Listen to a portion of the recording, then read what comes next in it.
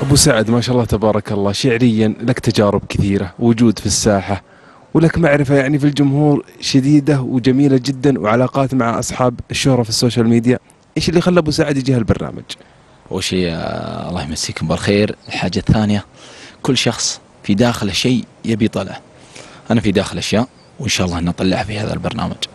كل التوقعات كل الأمنيات والأهم شيء أمنية أمي تشوفني في الشاشة هذا أهم شيء عندي. الحاجة الثانية بدخ... بطلع الأشياء اللي عندي. من شعر من موهبة عندي. ممكن الله أعطاني شيء أنا حاشره أو حاصره عندي. ولكن بإذن الله في المستقبل وأطلعه. واخترت القناة هذه وإن شاء الله منها بإذن الله. أبو سعد آه، ثقتك في نفسك عالية. ظهورك من عند اللجنة بالنفسية هذه يوحي ولو, ولو بشكل غير مباشر أنه أبو سعد راضي عن اللي قدمه.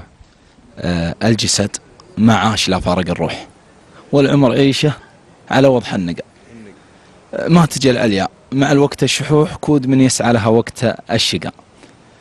إن ما يكون لك شيء وطموح عسى الله يرحمك باللي بقى. الله الله. صح لسانك يا أبو سعد.